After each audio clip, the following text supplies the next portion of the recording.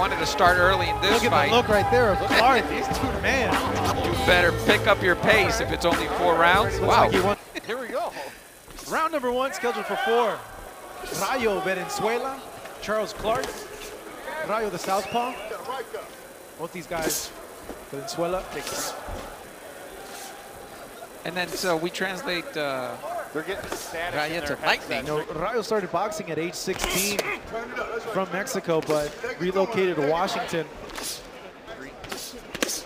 Last fight, like I mentioned, June 23. He lands a good series of punches there, getting a Oh! down goes Clark. He's out. Oh, wow. What a left here by Valenzuela. Oh, he's not getting up. It's over. It's all over. Didn't need those extra two rounds.